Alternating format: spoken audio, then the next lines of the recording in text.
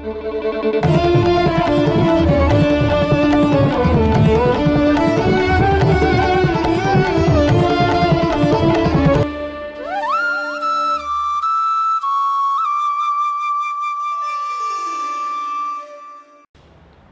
friends welcome to Harish Academy online classes so మనకు Indian పాలిటీలో రాజ్యాంగ పీఠిక అనేటువంటి టాపిక్ గురించి డిస్కస్ చేద్దాం.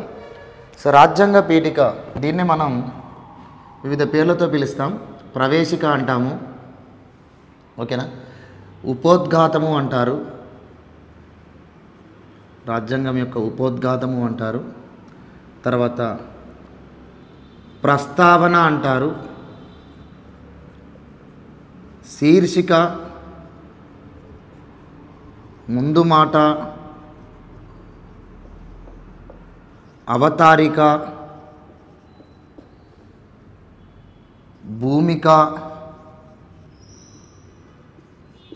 రాజ్యాంగం యొక్క పరిచయము అని వివిధ పేర్లతో రాజ్యాంగ పీఠికను పేర్కొంటారు.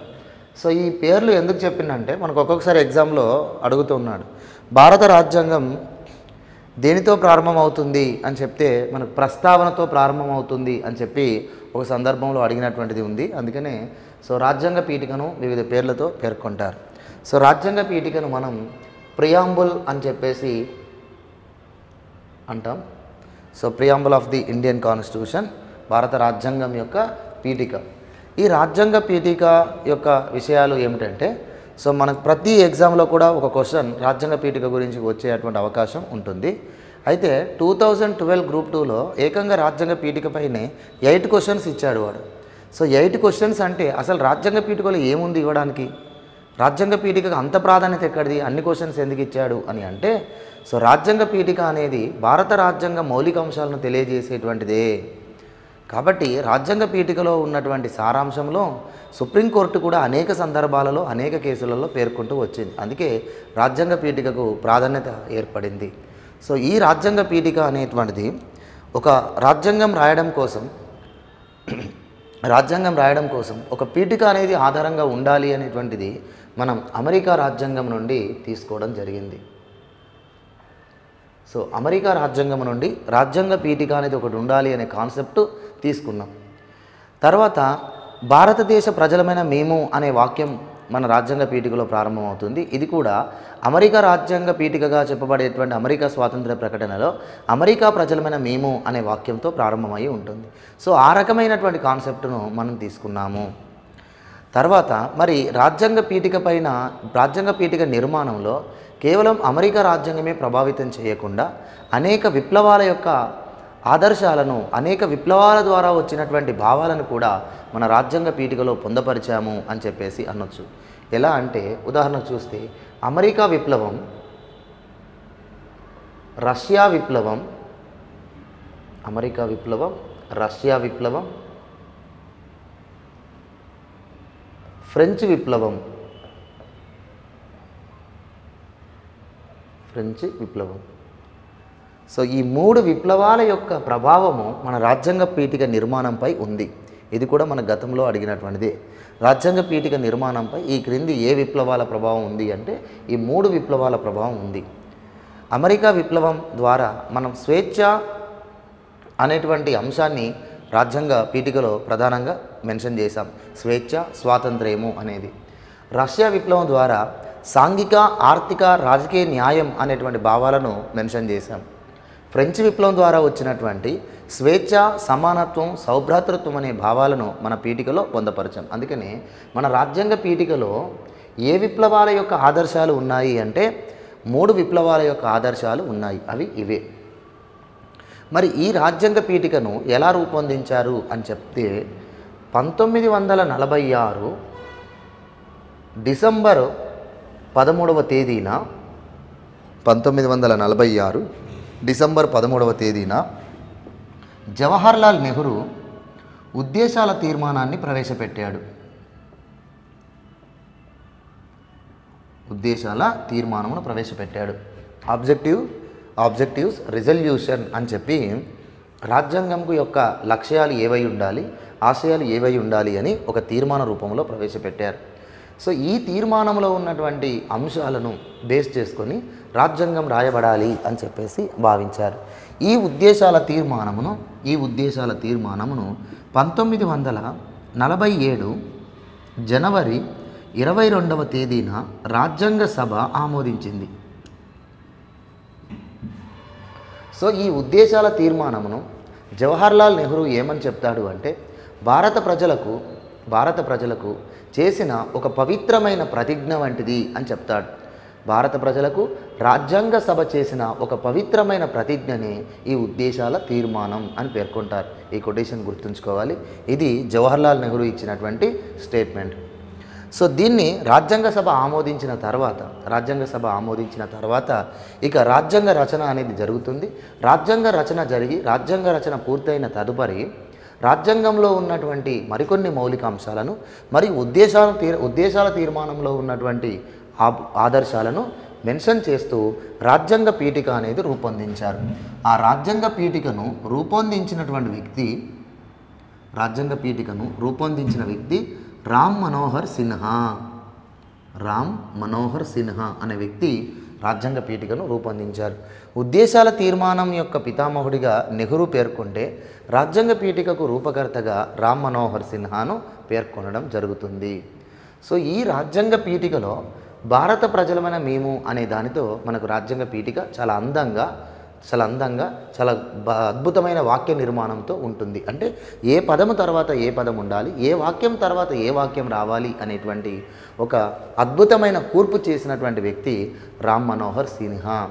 ఈ మధ్యకాలంలో మనకు మహారాష్ట్ర ప్రభుత్వం రాజ్యాంగ పీఠికను పాఠశాలలలో ప్రేయర్గా చదవాలి అని చెప్పేసి ఒక రూల్ తీసుకురావడం జరిగింది. చాలా గొప్ప విషయం. ఎందుకంటే రాజ్యాంగం యొక్క స్ఫూర్తి అంతా కూడా రాజ్యాంగం యొక్క సారాంశం అంతా కూడా రాజ్యాంగ తత్వం అంతా కూడా మనకు పీఠికలో ఉంది. అందుకనే భారత ప్రజలకు రాజ్యాంగ స్ఫూర్తిని రగిలించాలి మన దేశం పట్ల జాతీయ భావాన్ని పెంపొందించాలి అంటే పీఠికలో ఉన్న మౌలిక అంశాలను చదవాల్సిందే. అందుకే మహారాష్ట్ర ప్రభుత్వం ఇటీవలనే రాజ్యాంగ పీఠిక అనేది తప్పనిసరిగా పాఠశాలల్లో ఒక ప్రేయర్గా చదవాల్సినటువంటిదిగా ఒక రూల్ తీసుకురావడం జరిగింది. మరి ఇలాంటి రాజ్యాంగ పీఠిక రాజ్యాంగ నిర్మాతల తాత్వికత భావాలకు పునాదిగా పేర్కొంటాం. ఈ రాజ్యాంగ పీఠికను రాజ్యాంగ నిర్మాతల తాత్వికత ఈ పీఠికను రాజ్యాంగ నిర్మాతల తాత్వికత భావాలకు తాత్విక తాత్వికత భావాలకు ఒక వేదికగా మనం పేర్కొంటాం. అంటే రాజ్యాంగ నిర్మాతల యొక్క తత్వమును ఎందులో పొందపరచారయ్యా? రాజ్యాంగ నిర్మాతల యొక్క ఫిలాసఫీ అంతా ఎందులో పొందపరచారయ్యా అంటే పీఠికలో పొందపరిచారు అని చెప్పేసి మనం పేర్కొనవచ్చు సో ఈ రాజ్యాంగ పీఠిక భారత రాజ్యాంగంకు ఒక గుండె వంటిదిగా మనం చెప్పొచ్చు. భారత రాజ్యాంగంకు ఇది ఒక ఆత్మ ఒక ప్రాణం వంటిదిగా మనం పేర్కొనవచ్చు మరి ఈ రాజ్యాంగ పట్టి పీఠికలో ఉన్నటువంటి మౌలిక అంశాలు ఏంటి అనేది ఒకసారి చూద్దాం.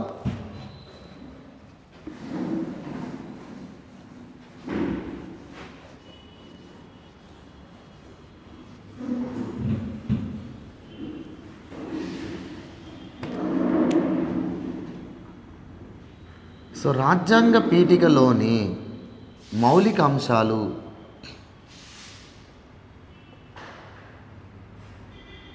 మౌలిక అంశాలు. సో రాజ్యాంగ పీఠిక ఏ విధంగా ఉంటుంది? భారత ప్రజలమైన మేము భారతదేశాన్ని సర్వసత్తాక సామ్యవాద ప్రజాస్వామ్య లౌకిక గణతంత్ర రాజ్యంగా నిర్మించుకోవడానికి దేశ ప్రజలందరికీ సాంఘిక ఆర్థిక రాజకీయ న్యాయాన్ని ఆలోచన భావ ప్రకటన విశ్వాసం ధర్మం ఆరాధనలో స్వాతంత్ర్యాన్ని అంతస్తుల్లోనూ అవకాశాల్లోనూ సమానత్వాన్ని మరియు వారందరిలో జాతి సమైక్యతను సమగ్రతను పెంపొందిస్తూ సౌభ్రాతృత్వాన్ని సౌభ్రాతృత్వాన్ని పెంపొందించుకోవడానికి మా రాజ్యాంగ పరిషత్తులో పంతొమ్మిది వందల నలభై తొమ్మిది నవంబర్ ఇరవై ఆరవ తేదీన శాసనముగా ఎంపిక చేసుకున్న ఈ రాజ్యాంగమును మాకు మేము సమర్పించుకుంటున్నాం అని చెప్పి మన పీఠిక యొక్క నిర్మాణం ఉంటుంది. సో ఈ రాజ్యాంగ పీఠికలో ఉన్నటువంటి ఈ మౌలిక పదాలు అనేటువంటివి రాజ్యాంగం యొక్క తత్వమును తెలియజేస్తున్నాయి. రాజ్యాంగం యొక్క స్వరూపమును తెలియజేస్తున్నాయి. అర్థమవుతుందా? సో ఇందులో ఉన్నటువంటి మౌలిక పదాలను బేస్ చేసుకొని ఇందులో ఉన్నటువంటి మౌలిక పదాలను బేస్ చేసుకొని వాటి యొక్క అర్థం ఏంటి అనేది మనం చూద్దాం. సో ఫస్ట్ వన్ భారత ప్రజలమైన మేము. భారత ప్రజలమైన మేము అనేది మన రాజ్యాంగ పీఠికలో ఉంది. భారత ప్రజలమైన మేము అంటే ఏమిటంటే సో ఇక్కడ దీని అర్థం ఏంటి? ఈ రాజ్యాంగమును రాజులు కానీ లేదా మనల్ని పరిపాలించిన బ్రిటిష్ వారు కానీ రూపొందించినది కాదు. ఇది భారత ప్రజలు వారి ప్రతినిధుల ద్వారా రాజ్యాంగ సభ ద్వారా రూపొందించుకున్నది. అందుకనే రాజ్యాంగ అధికారానికి మూలము ఎవరయ్యా అంటే ప్రజలే అని చెప్పడానికి దీని అర్థం. రాజ్యాంగ అధికారానికి మూలం ఎవరు అంటే ప్రజలు. భారతదేశం ఒక ప్రజాస్వామ్య గణతంత్ర దేశం అని చెప్పడానికి ఈ భారత ప్రజలు అనేటువంటి వాక్యం కూడా ఉపయోగపడుతుంది. ఓకేనా? తర్వాత సెకండ్ వన్. సర్వసత్తాక. సర్వసత్తాక. సర్వసత్తాక అనేటువంటి దాన్ని మనం సార్వభౌమ అని కూడా పిలుస్తారు. దీన్ని మనం ఇంగ్లీష్లో సావర్జనిటీ అని చెప్పేసి అంటాం. సావర్జనిటీ అంటాం. సర్వసత్తాక దేశం సర్వసత్తాక అధికారం ఏమిటంటే దేశ అంతరంగిక విషయాలలో కానీ విదేశీ వ్యవహారాలలో కానీ స్వంతగా నిర్ణయాలు తీసుకునే అధికారం దేశం కోసం చట్టాలు చేసే అధికారం భారత ప్రభుత్వానికి ఉంటుంది. దీనినే సర్వసత్తాక అధికారం అంటారు. భారత ప్రభుత్వానికి ఉన్న ఈ అధికారానికి మూలం ఎవరు భారత ప్రభుత్వానికి ఇచ్చినటువంటి ఈ సర్వసత్తాక అధికారానికి మూలం ఎవరు అంటే ప్రజలే. సో ఇక్కడ అది కూడా మనకు తెలుస్తుంది. సో భారతదేశం ఒక సర్వసత్తాక దేశంగా ఏ రోజు ఏర్పడింది అని అంటే పంతొమ్మిది వందల నలభై ఏడు ఆగస్టు పదహైదవ తేదీన భారతదేశం ఒక సర్వసత్తాక దేశంగా సార్వభౌమాధికారం కలిగిన దేశంగా ఏర్పడింది. అందుకనే భారత స్వాతంత్ర చట్టం నైన్టీన్ ఫార్టీ సెవెన్లో రెండు స్వతంత్ర దేశాలు నూతన రాజ్యాంగాలను రూపొందించే వరకు నైన్టీన్ థర్టీ ఫైవ్ చట్టం ప్రకారమే పరిపాలించబడతాయి అని చెప్పారు. కానీ మన భారతదేశం నైన్టీన్ ఫార్టీ సెవెన్ తర్వాత నూతన రాజ్యాంగం ఏర్పడేవంత నూ- నూతన రాజ్యాంగం ఏర్పడే వరకు ఏ చట్టం ప్రకారం పరిపాలించబడింది అని చెప్పి ఒకసారి మనకి ఎగ్జామ్లో అడిగాడు.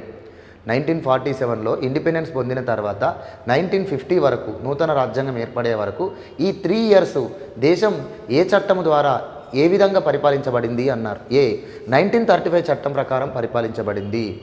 బి రెగ్యులేటింగ్ చట్టం ప్రకారం పరిపాలించబడింది.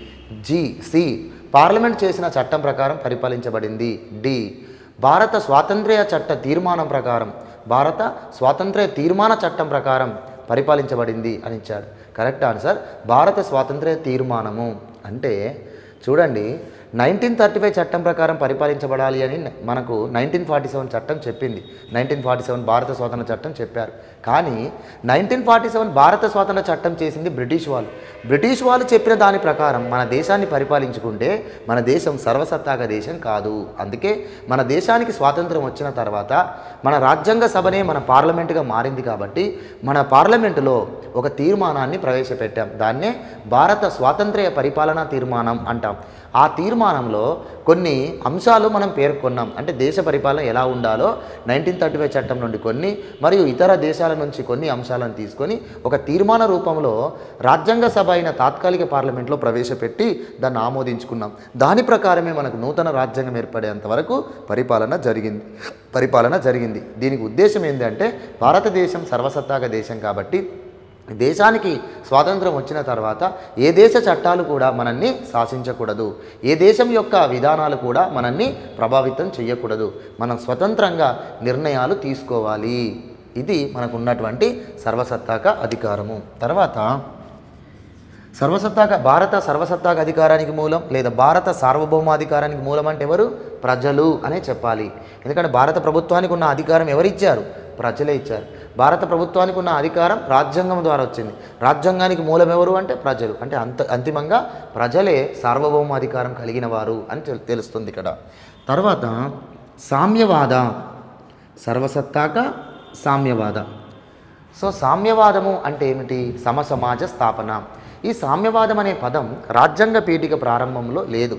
సో ఈ పదాన్ని పంతొమ్మిది వందల డెబ్బై ఆరు సంవత్సరంలో నలభై రెండవ రాజ్యాంగ సవరణ చట్టం ద్వారా చేర్చారు. పంతొమ్మిది వందల డెబ్బై ఆరు సంవత్సరంలో నలభై రెండవ రాజ్యాంగ సవరణ చట్టం ద్వారా చేర్చినటువంటిది సామ్యవాదం. దీన్నే సోషలిస్ట్ అనేటువంటి పదంగా మనం ఇంగ్లీష్లో పేర్కొంటాం. సమసమాజ స్థాపననే సామ్యవాద భావం యొక్క అర్థం. అంటే దేశంలో సంపద ప్రజలందరూ సృష్టిస్తారు దేశంలో సంపదను ప్రజలు వారి పనుల ద్వారా సృష్టిస్తారు. ఆ దేశ సంపద ప్రజలందరికీ సమానంగా పంపిణీ చేసేలా ప్రభుత్వ విధానాలు రూపొందించబడతాయి. దీన్నే సామ్యవాదము అని చెప్పేసి అంటాము.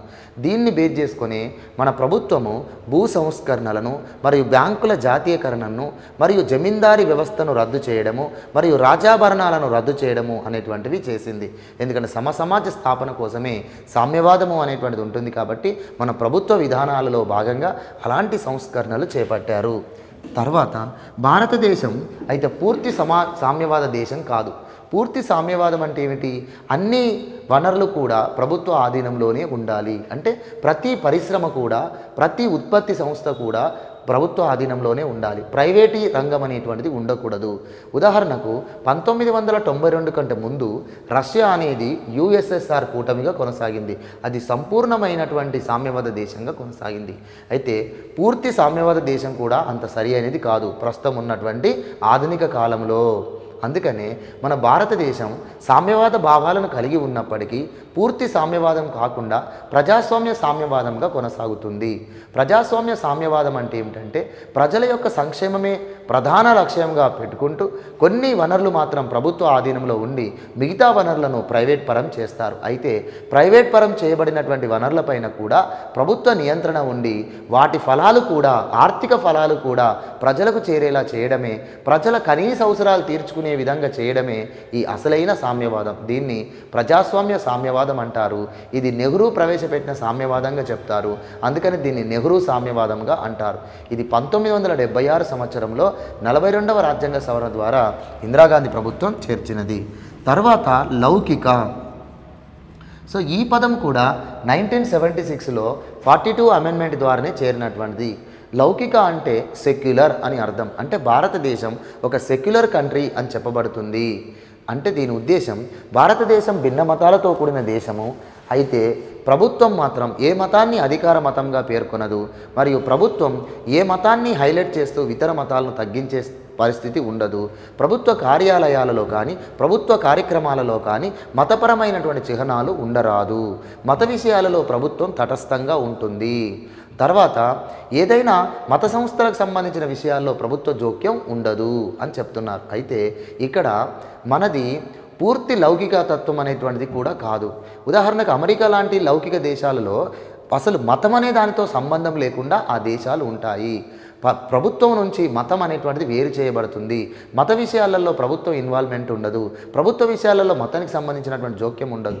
అయితే మన భారతదేశం సెక్యులరిజం అనేది ఒక ప్రత్యేకతను కలిగి ఉంది. మనం మత విషయాలలో మన ప్రభుత్వం తటస్థంగా ఉంటుంది అది వాస్తవమే. కానీ మత విషయాలలో మాత్రం మత సాంప్రదాయాల విషయంలో మాత్రం ప్రభుత్వ జోక్యం ఉంటుంది. ఎలా అంటే అన్ని మతాలను సమానంగా చూస్తుంది మత సాంప్రదాయాలను గౌరవిస్తుంది మతాల యొక్క అభిప్రాయ మతాల యొక్క విశ్వాసాలను కూడా గౌరవించడం అనేది జరుగుతుంది.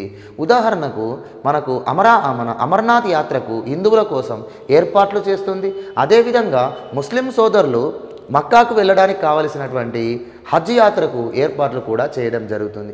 అదేవిధంగా చా క్రిస్టియానిటీకి సంబంధించినటువంటి మన గుడ్ ఫ్రైడే లాంటి సందర్భాలలో వాళ్ళకు కూడా ప్రభుత్వం సౌకర్యాలు కల్పిస్తుంది. ఇలా మన భారత లౌకిక తత్వం అనేది ఒక ప్రత్యేకమైనటువంటిది. మత విషయాలలో మత సంస్థల విషయంలో జోక్యం చేసుకోరాదు అన్నారు. కానీ ఆ మత సంస్థల ద్వారా చట్ట వ్యతిరేకమైనటువంటివి దేశద్రోహానికి సంబంధించిన కార్యకలాపాలు చేస్తే దేశ ఐక్యతకు భంగం కలిగించే విధంగా చేస్తే మత సంస్థల విషయంలో జోక్యం చేసుకోవడమే కాదు ఆ సంస్థలను రద్దు చేసే అధికారం కూడా మన ప్రభుత్వానికి ఉంటుంది. అలా భారత లౌకిక తత్వం అనేటువంటిది ఒక విశిష్టమైనటువంటి లౌకిక తత్వంగా కొనసాగుతుంది. కావున ఈ లౌకిక తత్వం అనేటువంటిది మన రాజ్యాంగంలో అంతర్భాగంగా ఉంది. రాజ్యాంగంలో ఎక్కడ కూడా భారతదేశం ఒక సెక్యులర్ కంట్రీ అనేది ఉండదు. కానీ రాజ్యాంగంలో ఉన్నటువంటి ఇరవై ఐదు ఇరవై ఆరు ఇరవై ఏడు ఇరవై ఎనిమిది అనేటువంటి ఆర్టికల్స్ భారత లౌకిక దేశం అని చెప్తున్నాయి. అందుకే ఆ మౌలిక అంశాన్ని రాజ్యాంగ పీఠికలో పొందపరచడం జరిగింది. తర్వాత ప్రజాస్వామ్యము.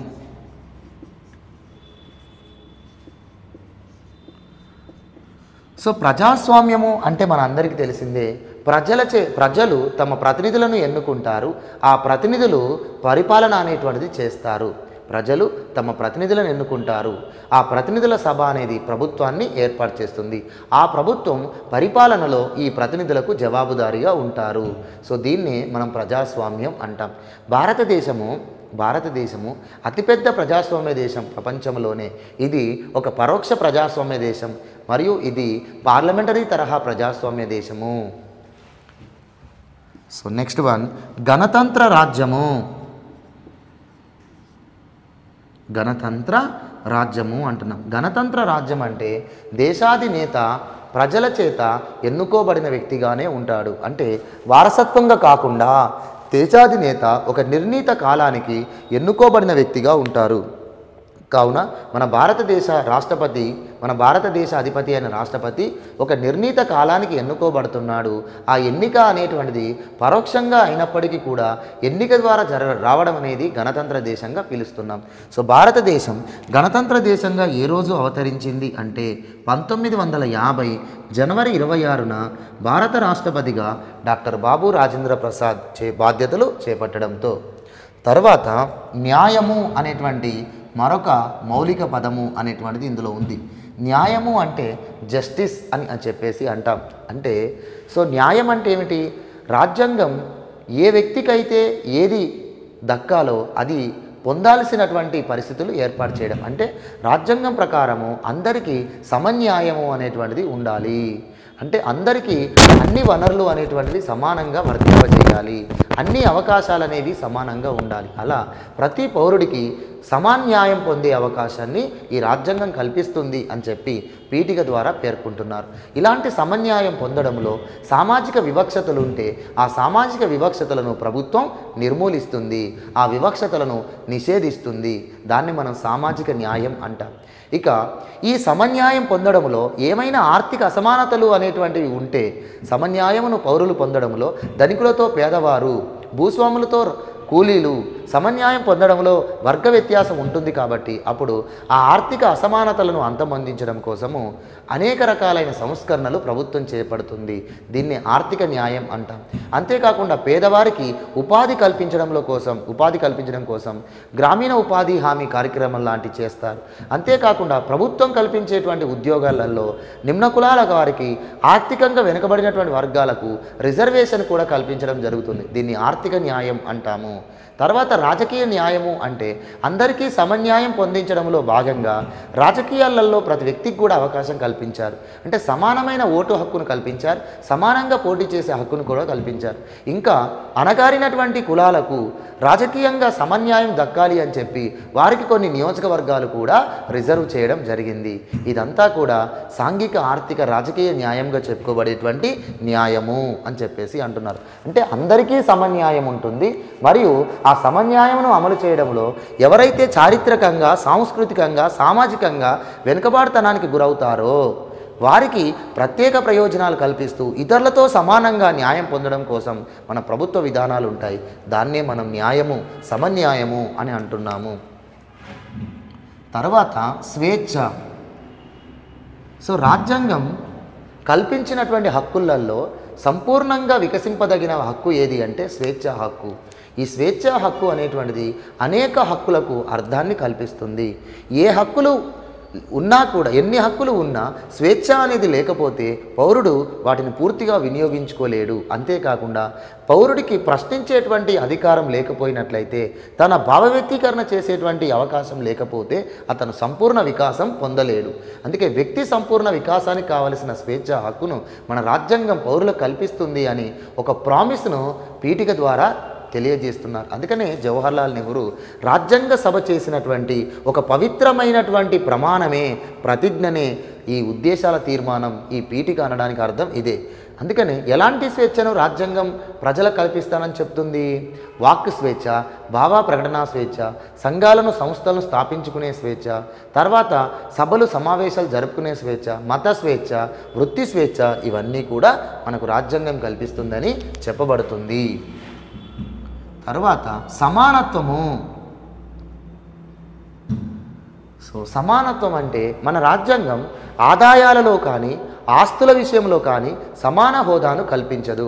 ఆదాయాలు కానీ ఆస్తుల పరంగా కానీ సమాన హోదాను కల్పించదు. అవి కాకుండా అవి కాకుండా అందరికీ సమానమైన ఉపాధి అవకాశాలు కల్పిస్తుంది మరియు అందరికీ ఉపాధి పొందడంలో సమానంగా అర్హతలను పేర్కొంటుంది. ఇక్కడ ఎలాంటి వివక్షతలు పాటించదు. దీన్ని మనం సమానత్వము అని చెప్పేసి అంటాం.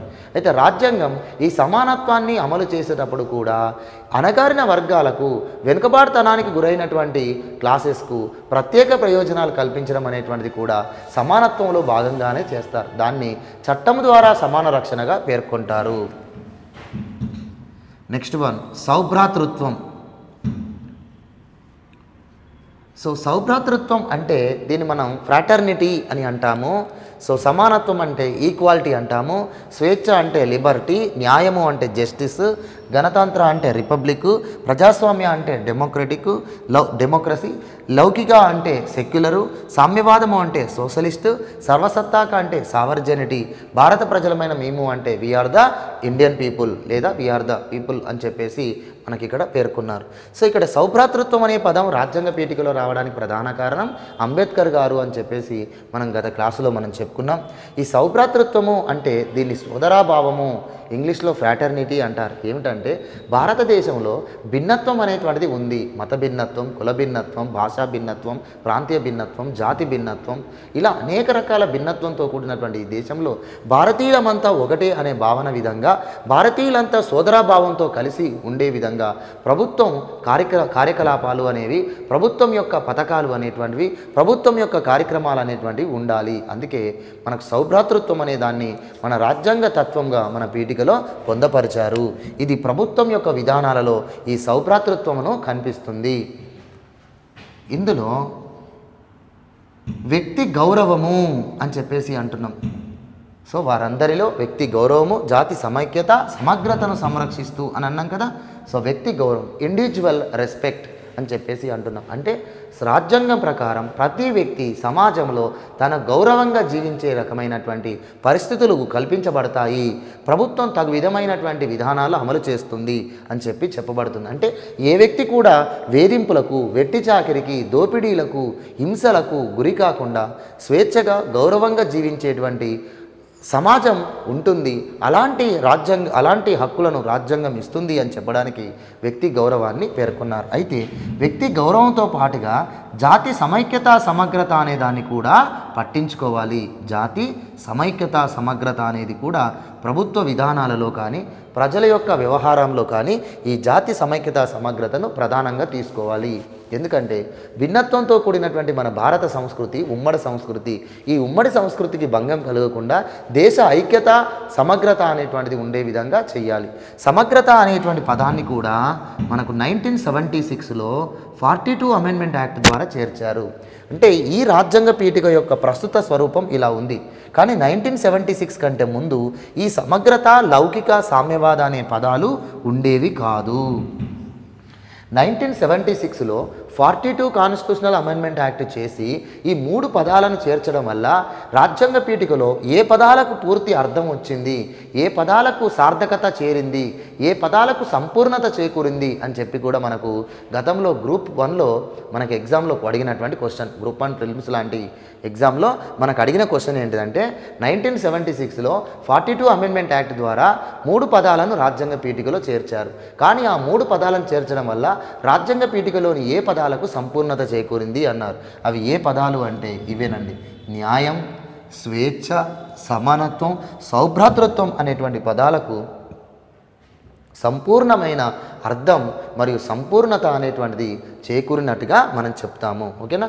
ఇది రాజ్యాంగ పీఠికలోని మౌలికమైనటువంటి పదాలు వాటి యొక్క అర్థాలు.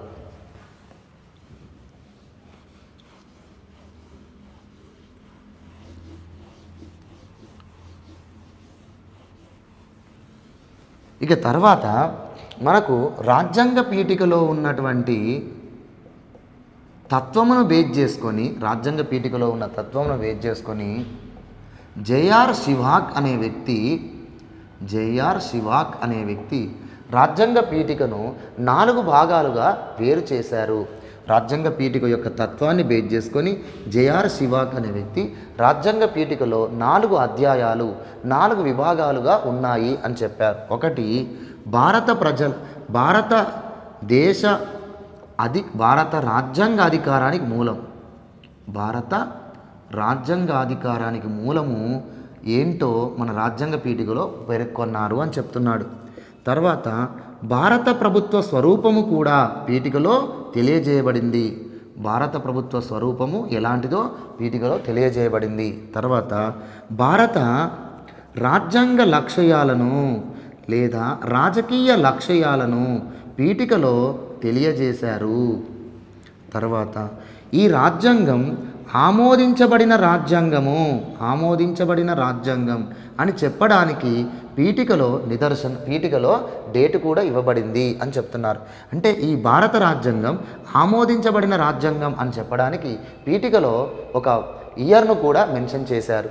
భారత రాజ్యాంగ అధికారానికి మూలం ఎవరయ్యా అంటే ప్రజలే. ఎలానయ్యా అంటే దేశ అధికారానికి మూలం రాజ్యాంగం. కానీ ఈ రాజ్యాంగమును ఎవరు రూపొందించుకుంటున్నారు? భారత ప్రజలు రూపొందించుకుంటున్నారు. ఎవరి ద్వారా? వారి ప్రతినిధుల ద్వారా. ఏ విధంగా? వారికి నచ్చిన విధంగా. రూపొందించుకొని చివరికి ఏం చేశారు? ఆమోదించుకున్నారు. ఆమోదించుకొని ఏం చేశారు? వారికి వారి సమర్పించుకున్నారు. కాబట్టి దేశంలో అధికారానికి మూలమైన ఈ రాజ్యాంగానికి రాజ్యాంగ అధికారానికి మూలం ఎవరు అంటే ప్రజలే. అందుకే రాజ్యాంగాన్ని సవరించే అధికారము రాజ్యాంగమును సవరించుకునే అధికారము న్యాయ వ్యవస్థకు లేదు. ఎవరికి ఉంది పార్లమెంటుకే ఉంది. పార్లమెంటుకు ఉండడానికి అర్థం ఏంటి ఈ రాజ్యాంగ అధికారానికి మూలం ప్రజలు కాబట్టి ప్రజల యొక్క ప్రతినిధుల సభనే పార్లమెంటు కాబట్టి పార్లమెంటుకు అవసరమైతే రాజ్యాంగాన్ని సవరించుకునే అధికారం కూడా ఇవ్వడం జరిగింది. తర్వాత భారత ప్రభుత్వ స్వరూపము అన్నారు. అంటే రాజ్యాంగ పీఠిక మన భారత ప్రభుత్వం యొక్క స్వరూపాన్ని తెలియజేస్తుంది అంటాడు జేఆర్ శివాక్. ఏంటయ్యా అంటే ఇది సర్వసత్తాక దేశమని ఇది సామ్యవాద దేశమని ఇది లౌకిక దేశమని ఇది ప్రజాస్వామ్య గణతంత్ర దేశమని ఇది ప్రజాస్వామ్య గణతంత్ర దేశమని మన రాజ్యాంగ పీఠిక తెలియజేస్తుంది. భారత ప్రభుత్వం ఎలాంటిదో భారత ప్రభుత్వ స్వరూపం ఎలాంటిదో పీఠికలో ఉన్న ఈ పదాలే తెలియజేస్తున్నాయి. తర్వాత భారత రాజ్యాంగ లేదా రాజకీయ లక్ష్యాలను మన పీఠికలో రాశారు అన్నారు. మరి భారత రాజ్యాంగ లక్ష్యాలు లేదా రాజకీయ లక్ష్యాలు ఏమిటయ్యా అంటే న్యాయం స్వేచ్ఛ సమానత్వం సౌభ్రాతృత్వం అనేవి మన రాజ్యాంగ లేదా మన రాజకీయ లక్ష్యాలు. ఆమోదించబడిన తేదీ భారత రాజ్యాంగం ఆమోదించబడిన రాజ్యాంగం అనడానికి నిదర్శనం రాజ్యాంగ పీఠికలో రాజ్యాంగం పంతొమ్మిది వందల నలభై తొమ్మిది నవంబర్ ఇరవై ఆరవ తేదీన ఆమోదించబడింది అని చెప్పడం. సో ఇలా రాజ్యాంగ పీఠిక మన రాజ్యాంగం యొక్క తత్వాన్ని మరియు రాజ్యాంగ అధికారాలకు మూలం మరియు ప్రభుత్వ నిర్మాణాల గురించి తెలియజేస్తుంది అని జేఆర్ శివాక్ పేర్కొన్నాడు చాలా గొప్పగా. తర్వాత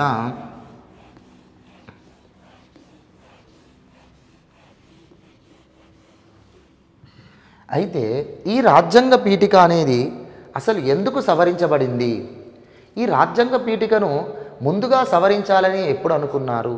సవరించాలని అనుకున్నా దీన్ని ఎందుకు సవరించలేకపోయారు అనేది మనం తెలుసుకుంటే సో వాస్తవానికి ఇక్కడ దీ ఈ చర్చను మనం భారత రాజ్యాంగ పీ రాజ్యాంగ పీఠిక భారత రాజ్యాంగంలో అంతర్భాగమా కాదా అనేటువంటి ఒక డిస్కర్షన్గా మనం దీన్ని తీసుకోవచ్చు. భారత రాజ్యాంగంలో రాజ్యాంగ పీఠిక అంతర్భాగమా లేదా అంతర్భాగమా లేదా కాదా అనేటువంటిది మనం ఒక డిస్కషన్గా తీసుకుంటే పంతొమ్మిది వందల అరవై సంవత్సరంలోనే భారత సరిహద్దుల మార్పు చేయాల్సి వచ్చినప్పుడు బేరుబారి అనే ప్రాంతాన్ని పాకిస్తాన్ యూనియన్లో కలిపేటువంటి సందర్భం వచ్చినప్పుడు సర్వసత్తాక అనే అధికారాన్ని బేస్ చేసుకొని పీఠికను సవరించాలి అని చెప్పేసి అనుకున్నారు. కానీ పీఠిక అనేది రాజ్యాంగంలో అంతర్భాగం కాదు.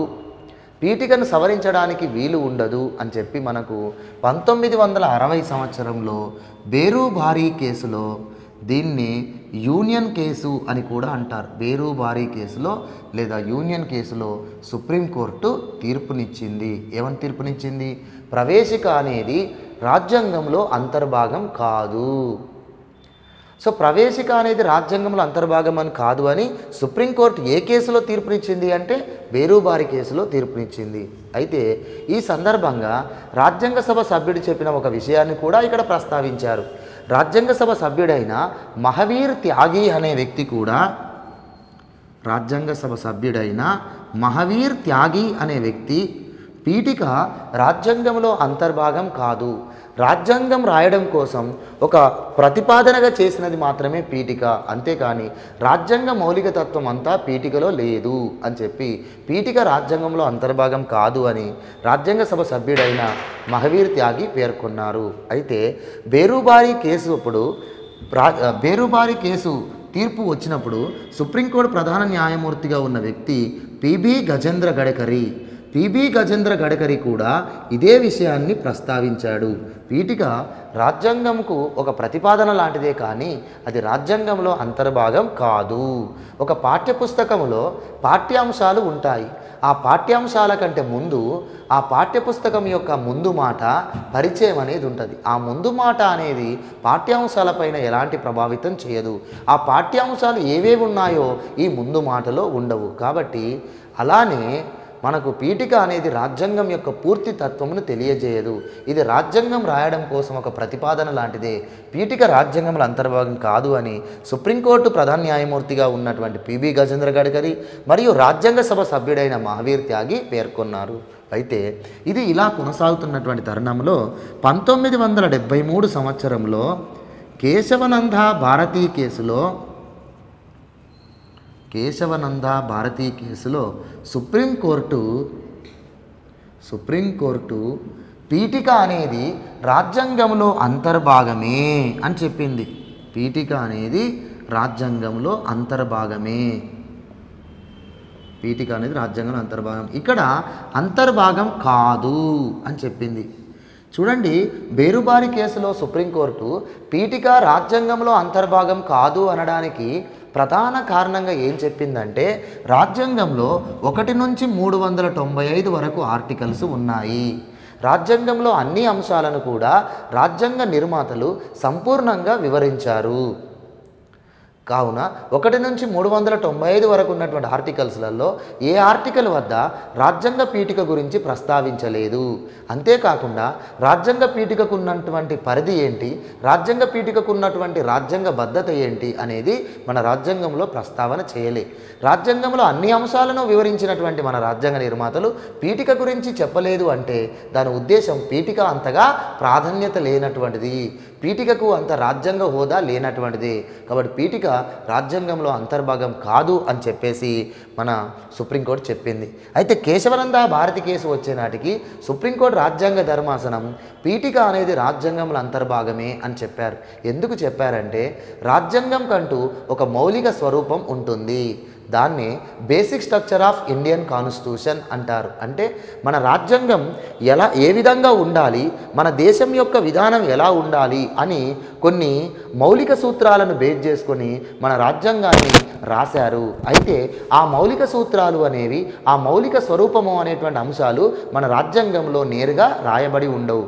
అలాంటి మౌలిక అంశాలను తెలియజేసేదే మన పీఠిక. అలాంటి రాజ్యాంగ మౌలిక తత్వం అనేటువంటి అంశాలన్నీ పీఠికలో పొందపరిచారు. అంతేకాకుండా పీఠికను కూడా రాజ్యాంగ సభలో ఓటింగ్ పెట్టడం జరిగింది. కాబట్టి పీఠిక రాజ్యాంగంలో అంతర్భాగమే. రాజ్యాంగంలోని కొన్ని ఆర్టికల్స్ను సవరిస్తే పీఠికలోని మౌలిక తత్వం దెబ్బతింటుంది. పీఠికలోని కొన్ని మౌలిక పదాలు తొలగిస్తే రాజ్యాంగంలోని కొన్ని ఆర్టికల్స్ ప్రభావితం అవుతాయి కాబట్టి రాజ్యాంగానికి పీఠికకు మధ్య ఒక ఇంటర్ రిలేషన్ అనేది ఉంది. రాజ్యాంగంలో పీఠిక అంతర్భాగమే అని కేశవరంద భారతి కేసులో సుప్రీంకోర్టు తీర్పునివ్వడం జరిగింది. సో పీఠిక అనేది రాజ్యాంగ మౌలిక తత్వంను తెలియజేసేటువంటి ఒక భాగము అని చెప్పారు కాబట్టి పంతొమ్మిది వందల డెబ్బై ఆరు సంవత్సరంలో నలభై రెండవ రాజ్యాంగ సవరణ చట్టం చేసి ఆ రాజ్యాంగ మౌలిక తత్వం పూర్తిగా పీఠికలో ఉందా లేదా అని చూసి పీఠికలో ఉండాల్సినటువంటి కొన్ని మౌలిక పదాలు చేర్చాలి. ఎందుకంటే రాజ్యాంగంలో సామ్యవాద భావాలు ఉన్నాయి రాజ్యాంగంలో లౌకికతత్వం అనేటువంటి అంశాలు ఉన్నాయి రాజ్యాంగంలో సమగ్రతకు సంబంధించినటువంటి అంశాలు ఉన్నాయి కానీ పీఠికలో ఆ మౌలిక పదాలు లేవు. అందుకే సామ్యవాద లౌకిక సమగ్రత అనే పదాలను పీఠికలో నైన్టీన్ సెవెంటీ సిక్స్లో చేర్చారు. ఫార్టీ టూ అమెండ్మెంట్ యాక్ట్ ద్వారా చేర్చారు.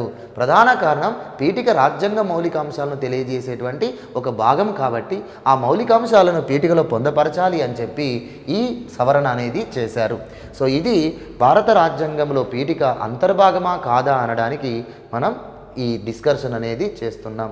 ఇక తర్వాత పీఠిక గురించి సుప్రీంకోర్టు అనేక కేసులలో అనేక సందర్భాలలో అనేక అంశాలను తెలియజేసింది. వాటి గురించి మనం చూద్దాం.